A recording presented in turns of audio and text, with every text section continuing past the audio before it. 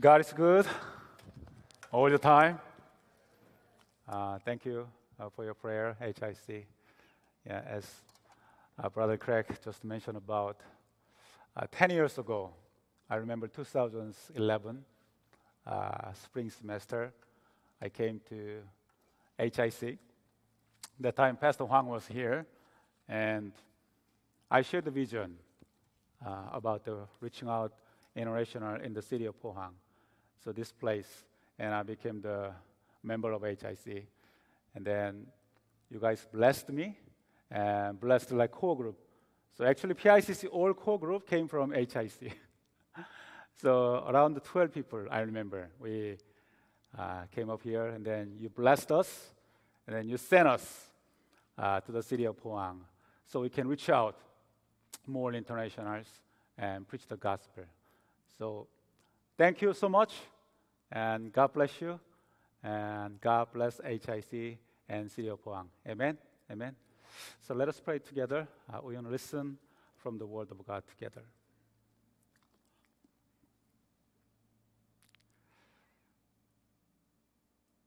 God, we are here because you sent us here.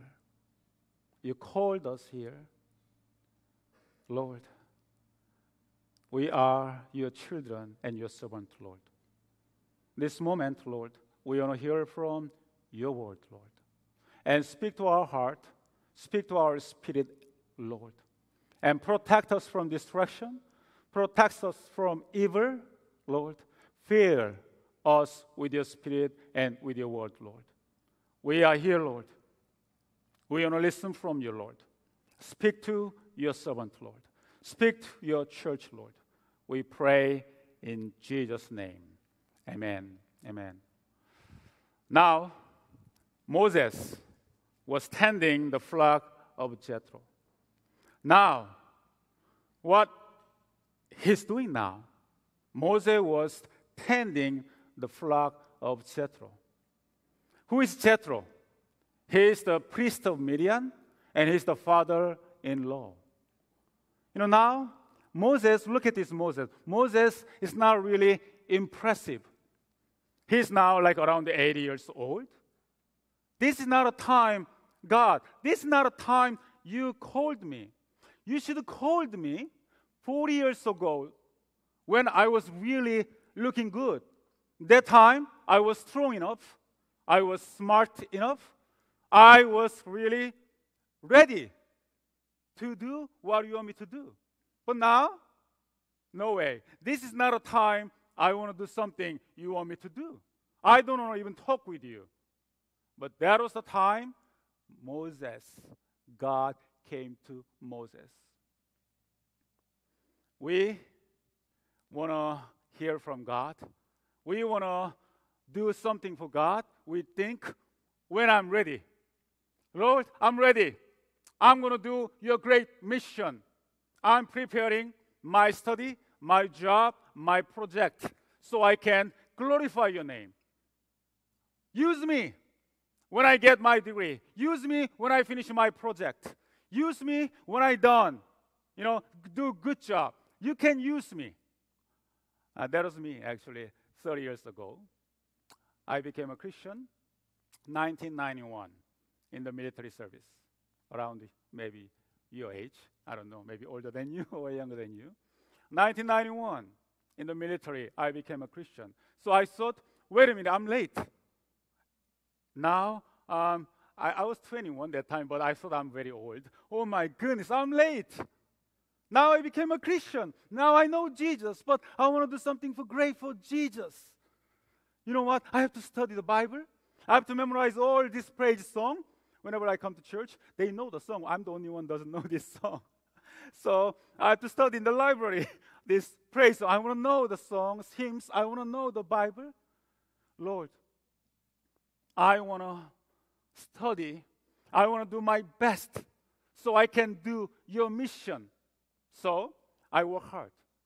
I try to save time for Jesus. I try to work hard for Jesus. I want to save you know, my life, not for me now, it's for Jesus. It's not about my life, no. Now it's about your life. So, you know, before the military, my school record was not good. But after I became a Christian, I thought, okay, Lord, now I'm a Christian. So I have to really make good school record. So I did my best. You know, even though I remember one uh, final exam, uh, I, I, was, I stayed at the library until 11 and 12. At that time, you know what, to save my time, I want to take the taxi. I'm not going to go by bus because I want to save my time. So I got in the taxi and you know, I have to think about the, the school, the test tomorrow. I do not think about anything. Don't, do not disturb me. You know, I'm studying for Jesus. You know, don't mess up with me. You know, this is a special study because now I'm a Christian. I messed up a long time ago, but now I want to this study for Jesus. So I was in the car, and the taxi driver was in a hurry, like me. I was in a hurry too and he did a U-turn illegal way. And then suddenly he hit the, the motorcycle right away. Around 12, you know, a.m. And I heard the sound. I can feel that somebody went into the car bottom. I was shocked because I was the only one witness there. But that time, what came to my mind was, not this time. Wait a minute. I'm studying for Jesus. I don't have time for this. No, no way. I'll just think about my school study tomorrow. Test, big test tomorrow. So, you know what I did? I didn't know that time that was wrong. What I did? Taxi driver was panicked. and I just opened the door. I sneaked out I took another taxi. I went home. And I came back. I tried to not think about what happened there. Okay, forget about it. That's not me. I don't care what happened. I'm studying for Jesus. I want to save my time. This is what God wants. I took the test. Yes, I made a good school record. That was me. I really thought that time, this is what God wants in my life. I graduate, I got a job, and I went to the even seminary. I studied hard. You know, study the library at the night time. I study, study hard. Lord, I want to make everything A, A plus, A, at least A. And then one professor, the subject was Christian spirituality. But that subject, I liked it because he, he taught me about how to pray, you know, this kind of spirituality, not really academic study. So we enjoyed the class. Okay, no test, no midterm, no final term, no assignment. It's fun. And everything was good. Uh, you know, my school record was good. And then that professor, he needed something to grade student. So suddenly, no assignment, no test, and but the almost the final came. And he suddenly, oh guys, by the way, I need something to grade you guys. So can you give your journal notebook? Please hand out every your journal notebook. You know, my handwriting is terrible. my Korean handwriting is terrible. My English writing is better. so I don't show my Korean handwriting. In journal, I type, but handwriting terrible. And that day, the professor collect this journal notebook, devotion journal. And then his TA gave me C. I was angry. Lord, no, wait a minute. I got A plus Hebrew, I got A plus Greek, I got A plus all, but this Christian spirituality, C, I cannot accept this. So I called the professor. Professor, uh, I really like your class, but I think you made a mistake. I got C. Oh, oh I'm sorry, Rich. Uh, oh, actually, that, that was my TA. TA did. Oh, I don't see the basis. You didn't take any test, no assignment, but why C? Oh, and then professor said, Rich, it's okay. It's not a big deal.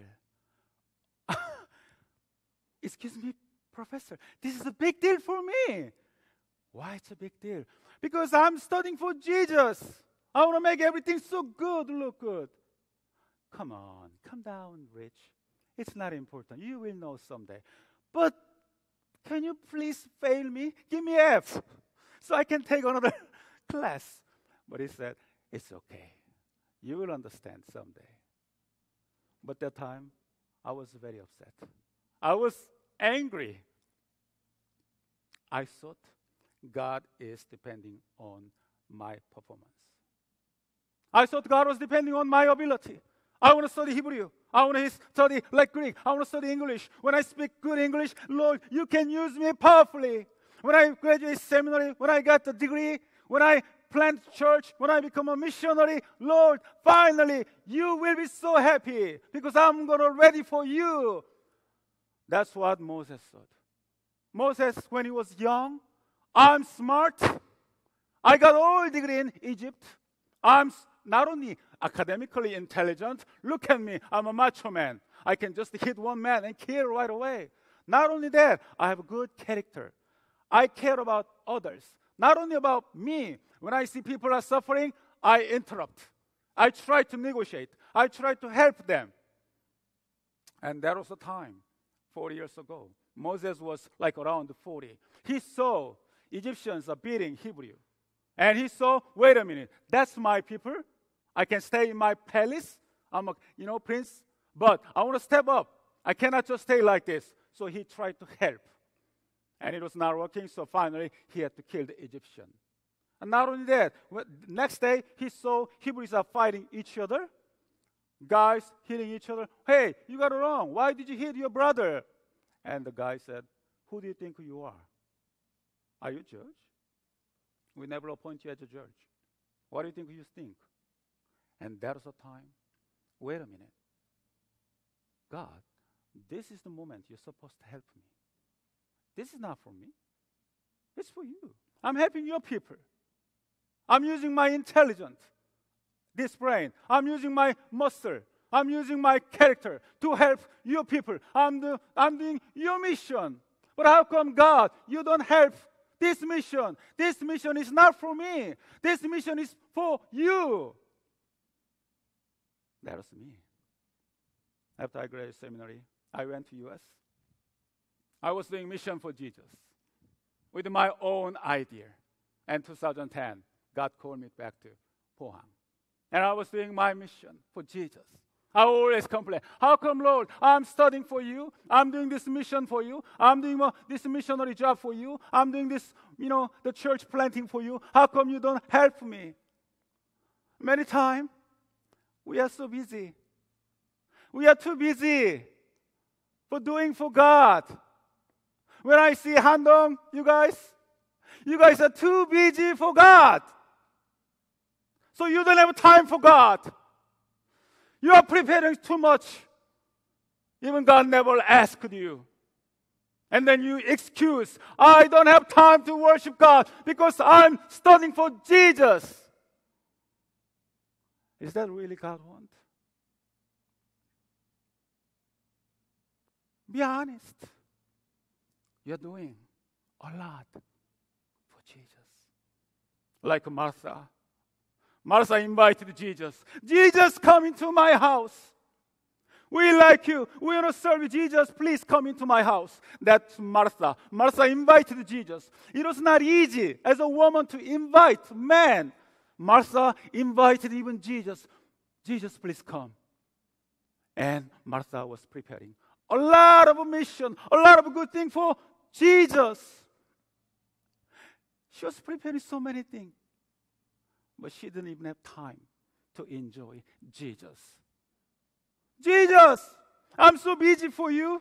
I'm preparing this for you, but how come Mary is not helping me? Look at Mary, just enjoying you there. I want to enjoy you, but I'm so busy for you. Can you help Mary, my sister, to help me? And Jesus said, Martha, Martha, you're worried, upset with so many things, which I never asked. But you missed the most important thing. You don't enjoy me. You don't come, kneel down, listen from me. You are doing many good things for me. That's why you don't have time to enjoy me. Moses was busy when he was strong, when he was smart. He didn't have time. to encounter God. He didn't have time to really listen from the creator of universe. We are too strong. We are too powerful. We are too busy. Why? Because we think God need my help. I want to help God. I have to study hard. If I fail my exam, God fail. If I don't get this job, God is really disappointed. If I don't marry this person, oh, that's a big deal for God. Actually, it doesn't matter you marry that person or not. Doesn't matter you go this school, get this job, you, you pass the test. It's not a big deal. But we think it's a big deal. We come to God, God, please let me know this job or this school or this person, please let me know. And God said, You care about your mission for me, but you don't have time for me. You're doing a lot of things for me, but you cannot really enjoy. I remember, I think I shared one time, uh, you know, I have four children. My last one is eight, and my oldest one is uh, 19, uh, senior high. Uh, my third one, and she really uh, likes daddy. When she was, she's now elementary school. Uh, when she was like toddler, she really want to spend time with me. And the best place she spent time with me was the bathroom, uh, toilet, because I'm busy all the time, and she knows that when she was so small, so when she has to go to bathroom, I have to hold her. So I remember she said, Daddy, I have to go to toilet. Okay, okay, I'm so busy. Please, please, please, hurry, hurry. So I took her to the toilet, you know, the things. I, I put up there, put her there, and then I have to hold her. And that's the space I cannot go any place. And she just looked at me. I said, Hurry, hurry, I'm busy. And she said, Daddy, are you busy? I said, Hurry, hurry, finish, finish. And she kept saying, Are you busy, Daddy? And a little bit later, I saw she already finished. And she kept saying, Daddy, are you busy? And I feel like God is speaking to me. Are you so busy? You don't have even time to look at the person you love. Why are you so busy? You're so busy. You don't have time to worship. Look at Jesus. Even during the worship service. Oh, finish, finish, Pastor Rich. Too long. I have to study, assignment, test, a lot of work to do. I'm doing this for Jesus, Lord. Even Sunday, I cannot rest because there are so many projects is going on. I have to finish the you know service so quickly so I can prepare for Jesus.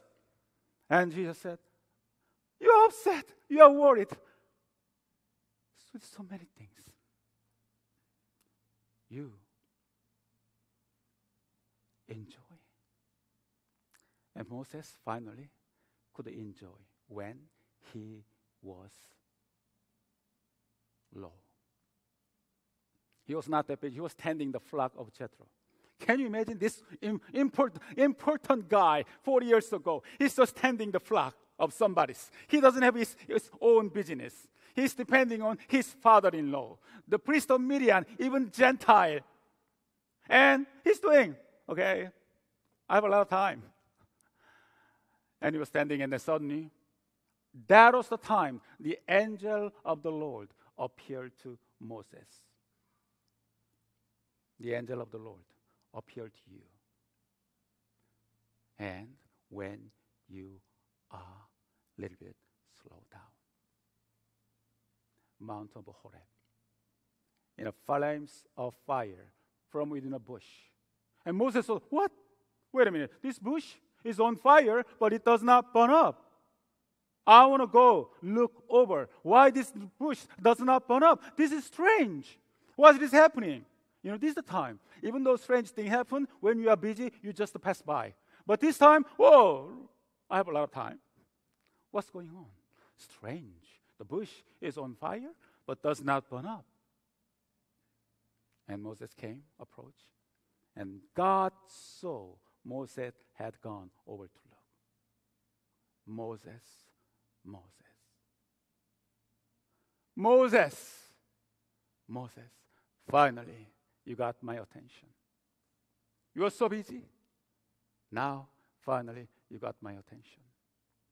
Moses, Moses. Here I am. Moses didn't know God. Here I am. And God said, Moses, finally you came. It's good to see you. No, God said, Do not come any closer. Oh, wait a minute. God, you came to Moses to speak. Now you say, you're saying that do not come closer? Doesn't make sense. You just came to talk to Moses, but now you're saying do not come closer? Do not come closer. Moses, yes, I come to speak to you, but do not come closer. Take off your sandal, for the place you are standing is holy ground. And this is the message this morning. Yes, God will not speak to you. God came to you. But guess what? You cannot come to God closer unless you take off your sandals. Amen. What is my sandal? The sandal you're wearing. So you can go wherever you want to go. You can do what you want to do. You can be in charge, your own righteousness, your own way of you. You are in control. Take off. As long as you are in charge, you cannot really see God close enough. Take off your sandal. For the place you are standing, the place right now you are in, is God's presence. God reigns over your life. You are not in charge. You are not in control. God is in charge, but you act like God. That's a sin against God. That's what Adam and Eve sinned against God when they commit. They act like they want to be a God. They say about God, but they want to be in charge. I want to be in charge of my life. I want to make a decision of my life. I know what to do because I know. That's a sin. Moses, take off your sandals. Take off. Who is in charge? And I welcome the internationals, foreigners in city of Pohang. Uh, before COVID happened, I used to go to the port. There are two big ports, Yeongil Port and Pohang uh, Sinhang Port.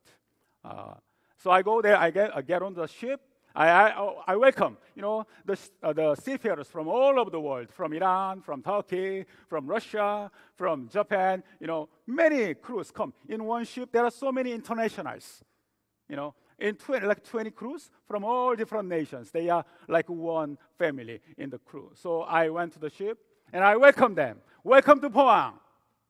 My first question is, welcome to Pohang and where is your next destination? And you are here in Pohang, so where is the next port? And they say, oh, next port is New York or Singapore or Cairo. And then I said, where is next and next and next and next? Oh, maybe next, next we go home. And what is next? What are you talking about? I'm talking about what is your last destination of your life. Oh, I didn't think about that. There are two last de- destinations, two last ports. One port called eternal life. Another port called eternal death. And I said, Which port do you want to go? And they said, all said, even though they are Hindu or Muslim, they don't care. I mean, oh, we want to go eternal life port. And I said, Who make the decision? This ship, vessel, the direction, final authority. Who has the final authority about this ship? And they said, Oh, captain. Captain has the authority even in the ship. Captain has the authority even to kill people if something happens. Captain has the authority.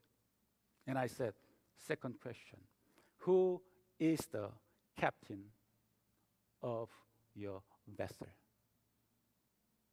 of your ship, of your life?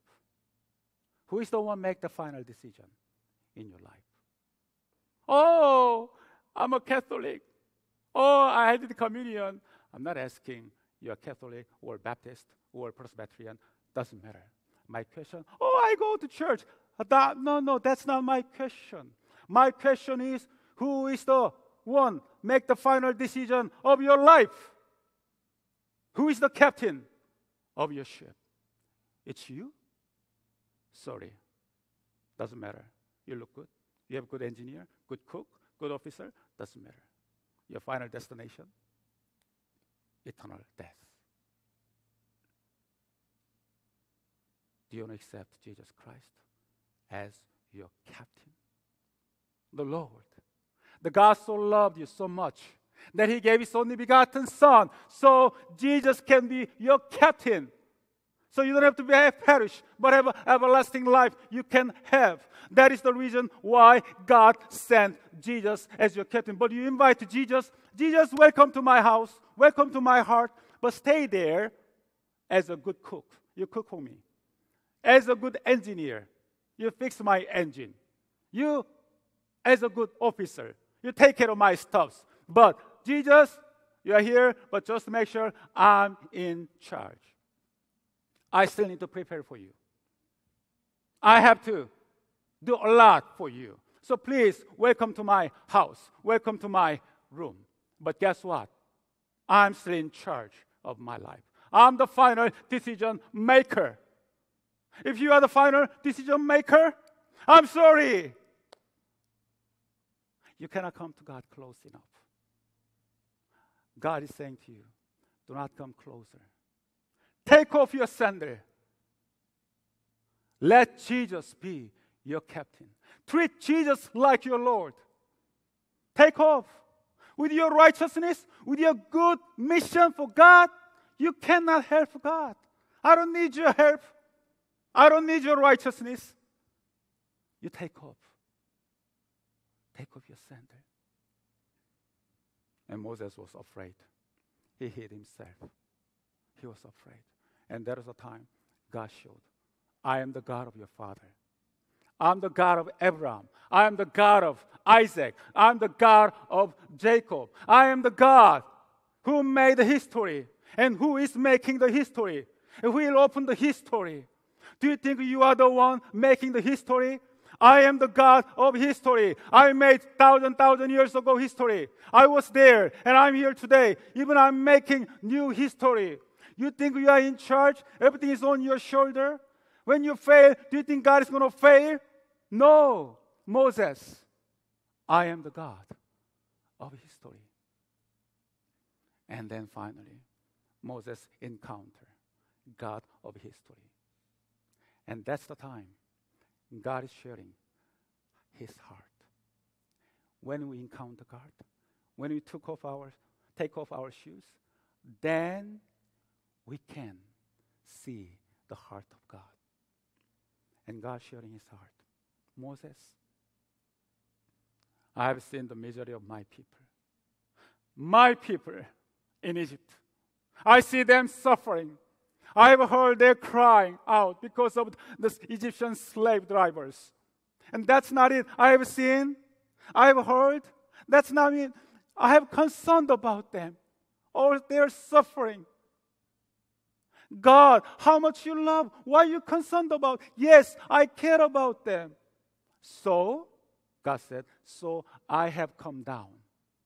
Our God is not just sitting in the heaven, oh, I feel sorry for you guys. No, the Bible, in the Old Testament, if you see God, God is concerned about us, and God said, I have come down to rescue my people. I'm not just the God over there, I'm the God here. I have come down to rescue my people. I feel sorry for my people, Moses. They are suffering. Their crying has reached my ear. I cannot just stay here. And verse 10, if you look at the verse 10, we have to look at verse 10. So, what's the main? Chapter 3, verse 10. Read together. So now, go, I'm sending you to Pharaoh to bring my people, the Israelites, out of Egypt. Wait a minute, God, you said you care about your people. Why? Why don't you go? And God said, I concerned about my people. So now I'm sending you. Mission of God. It's not about your mission. Moses could say, No. Do you know what happened four years ago? They are the people I'm here in this Midian wilderness. I'm a foreigner. I'm an international. I'm an international workers. Or you know why I'm here? Because of them. They reported me. I don't care about them because they didn't care about me. I'm suffering because of them. It may be your people, but not my people anymore. I'm married to now foreigners. My wife is a Midian. My children mixed. So what's the point? I don't care what happened to them. But God said, They are my people. I'm sending you. I'm sending you. The mission of God comes from heart of God. Whether you have a heart or not, that's not important. I used to think, Lord, I want to do mission for these people, blah, blah, blah, this. And I didn't know. You know, oh, wait a minute. Uh, which job I like? Who, what kind of people I like? I want to go to the, the I, I want to go do ministry to the people I like. I feel comfortable. To the place I, I feel God is calling me. So it was all about my feeling, my agenda. But the mission of God is not about your agenda. God is the one sending you. Mission is not about I go. It's not about going. It's about being sent. You know the mission of God? Mission, it's a missio. Mission means being sent, like a Messiah. What if a Messiah, you know, Messiah? Oh, let me see which direction I have to go. They don't make the decision. You are not. Who make the decision? Sender. Sender make the decision. But Messiah said, Oh, no, no. I don't want to go this way. I want to go this way. Can you change me? No, you don't have any right. Because you are mission, Messiah.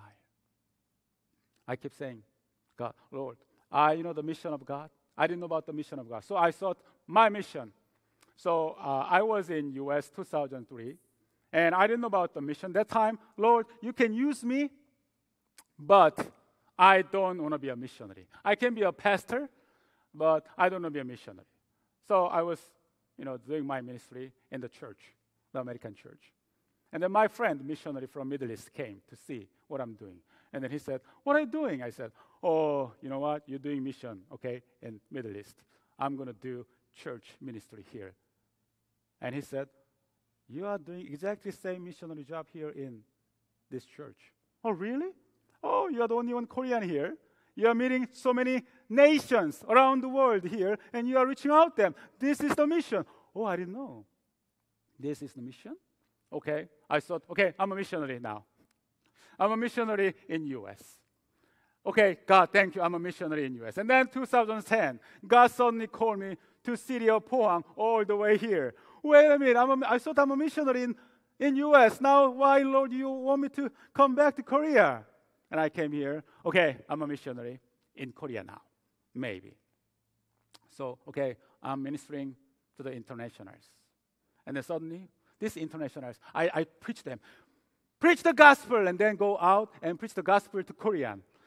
and I said, wait a minute, wait a minute. I'm a missionary here to the international, not to Korean. So don't preach the gospel to the Korean because I'm a missionary. My mission was defined by what kind of people group. That was my mission. And then finally, even some people, they married Korean. Oh, wait a minute. I cannot really distinguish Korean and international. Mission, wait a minute, what is mission? So my mission was defined by my own idea. What is mission? That was my mission. I always, my mission always change. Oh, my mission is about going to Africa and doing something great there. Or, or go to the some people and helping these people. That is my understanding about my mission. Oh, my mission? Maybe, you know, this is what God wants me to do. My mission. I have to do this. So when God really speaks to me about his mission, no, no, this is not my mission. This is my mission. I couldn't accept what God is giving me. So, what is your mission? The mission of God cannot start until your mission fails. Your mission has to be stopped. So the mission of God can start. Because your mission, doesn't matter how good your mission is, God said, My sword is not your sword. My ways are not your ways. It's like far away from west and east, from heaven and earth, totally different. You try to plan many good things for me, but guess what? That's too far away from like heaven and earth. Your job is not to plan my mission. Your job is to obey me, follow me, and worship me. What is the mission? As a missionary, this is my definition of mission. What is the mission? What is the heart of mission? The heart of mission is worshiping God. You don't know how to worship God now? You want to worship God someday, somewhere, with mission? No. The most important mission today, you love Jesus today. Even though you are not smart, even though you don't think you are special, you're not great in people's eyes. You take off your sandals and you encounter the creator of the universe. That's the beginning. That's the heart of mission. I met so many people like me preparing their mission, and they fail to worship today, right here. They have a good excuse. Pastor Rich, I have to make money for God to help church. Someday when I make enough money, then I will worship. Pastor Rich, I'm so busy.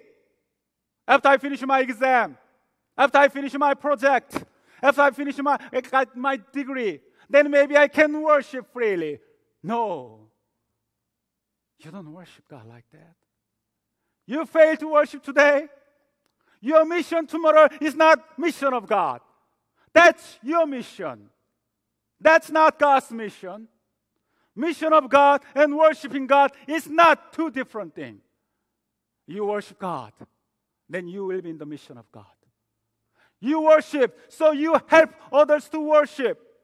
You don't worship, why you try to help others to worship? That's evangelism. You go and preach the gospel, or you try to help people to worship, but they see you. You're not worshiping God. Then that's a fake. That's not real. Why you try to evangelize fake religion? You don't love Jesus. You don't worship him. You don't listen to him. You don't speak to him. You don't follow him today. You don't enjoy him today. And you say people enjoy Jesus, but they see you, you're not really enjoying Jesus today. You say, I cannot enjoy because I don't have the things in this world. When I get the things in this world, maybe I can enjoy Jesus, Lord. When I finish my preparation, when I finish my degree, when I finish my job, maybe I can enjoy Jesus. Liar! No. Mission of God is not depending on you. Mission of God is depending on God. And God said, Moses, I'm sending you to Pharaoh. Wait a minute. I thought you are sending me to people of Israel. But God said, I'm sending you to king of Egypt. Wait a minute. Pharaoh? He's mighty. He's the God in this world. God's mission is not about only people of Israel. God's mission, you are dealing with King Pharaoh. The authority, ruler of this world, prince, the spiritual forces, power of this world. The mission of God is not depending on your own ability. You may get a degree, you may, you may become smart, but guess what? You cannot deal with King Pharaoh. Doesn't matter how much you are hard. You cannot beat King Pharaoh. You know, Pharaoh is too powerful for you. You need God. Mission of God is depending on God's power. That's why Paul said, Our struggle Our battle is not flesh and blood in this world. Our, flesh, our battle is a spiritual battle. We need weapon, spiritual weapon. That's why we have to depend on God. You know, it's not about our own ability to fight this giant king Pharaoh. We are not here. You cannot muster like Moses. Moses was the strongest man as a man, macho man. I'm sure he was a smart. You cannot beat Moses in Egypt that time. He got all the knowledge, but he was running away from King Pharaoh, and he failed. But now he's eight years old. God said, Go to King Pharaoh. Oh, maybe even when I was strong, even when I was young, I, I was running away from King Pharaoh. Now I'm an old man, 80 years old. Do you want me to go, King Pharaoh? Who am I? And God said, Doesn't matter who you are, I'll be with you. But Lord, but still, who are you? And God said, I am who I am. I am the Yahweh. I am the God of action. I am the God who came down. I am the God who is doing great history. I am the God who is speaking to you. I am the God who saved my people. I am the God who is sending. I am the God of Yahweh. I am who I am. That's my name. This is my name to be remembered forever, generation to generation. You go. Oh Lord. And God said, Guess what, King Pharaoh? He will not let my people go unless a mighty hand compels him. I will strike. I will stretch out my hand and I strike the Egyptians. And you will plunder the Egyptians. Mission of God. Good news. Mission of God. God will accomplish through you. It's not depending on your ability. I've been doing 20 years ministry.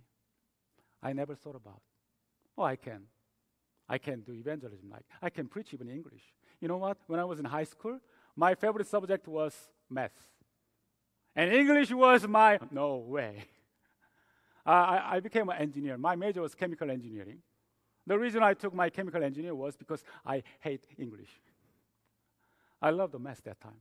But, you know, I look at myself in these days. I don't like number these days. I have a hard time.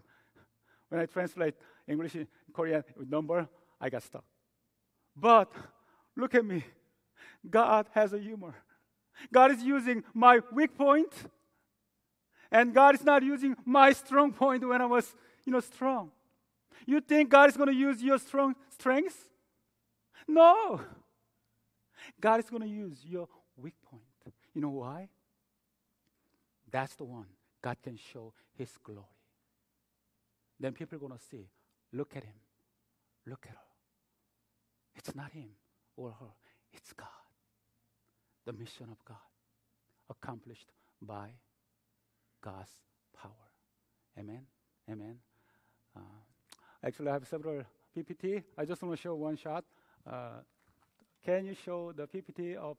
I want to say thank you, uh, HIC.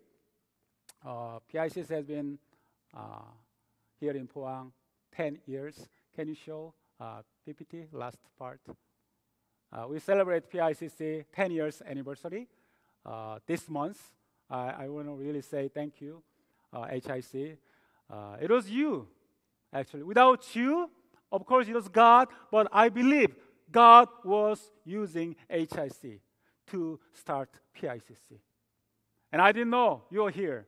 And God called me 2010, and I became the member of HIC. And 2011, with your blessing, we went out to the city of Pohang. And we met so many people from all over the world Muslim, Hindu, atheist, and blessing. And I really appreciate what you have been doing and your prayer, your support. Uh, and may God bless you. Amen. Amen. So I'm going to pray. Uh, Jesus, we thank you for calling us, for inviting us to encounter you, so we can know your mission, your heart, so we can we can be your true Lord in this world, Lord. Lord, we want to take off our shoes so we can accept Jesus Christ, our Lord and Savior, so we can be your servant, your church, Lord. Bless HIC, Lord.